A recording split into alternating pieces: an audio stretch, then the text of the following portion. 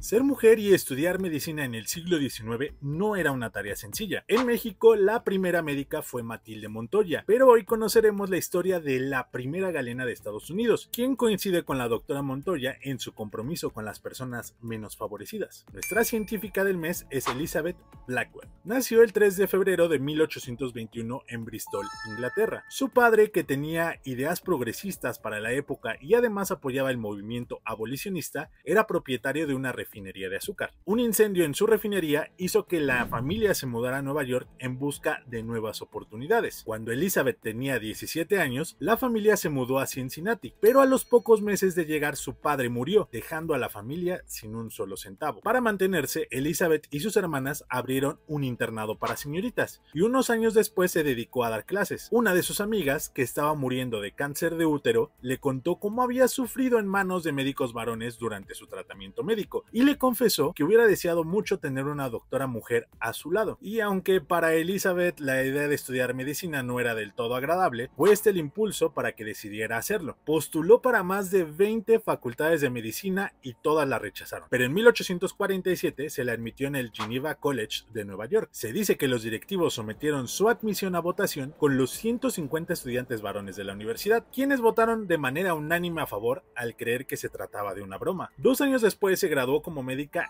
y la mejor de su clase, pero después de obtener su título tuvo problemas para encontrar un lugar donde ejercer su profesión. Consiguió una plaza en la Maternité de París, donde desgraciadamente al curar la secreción del ojo de un bebé recién nacido, esta le salpicó en su ojo izquierdo y se complicó lo que la hizo perder su ojo. Esto cambió sus planes y desistió de ser médica cirujana. En 1854, al regresar de Europa, fundó el dispensario para mujeres y niños pobres de Nueva York, que unos años más tarde convertiría en la enfermería de Nueva York para mujeres y niños indigentes. El hospital estaba dirigido por ella y contó con el apoyo de su hermana menor Emily, que para aquella época ya se había convertido en cirujana, además de contar con personal exclusivamente femenino, pues Elizabeth quería apoyar a otras mujeres que habían estudiado la carrera y no encontraban un lugar en donde ejercerla. En sus primeros 100 años de funcionamiento, la enfermería atendió a más de un millón de personas y en la actualidad es el hospital del Bajo Manhattan. La doctora Blackwell continuó defendiendo a las mujeres en la medicina, dando conferencias y escribiendo. Murió en 1910 a sus 89 años. La recordamos con sus propias palabras. Ser una pionera no es fácil, pero es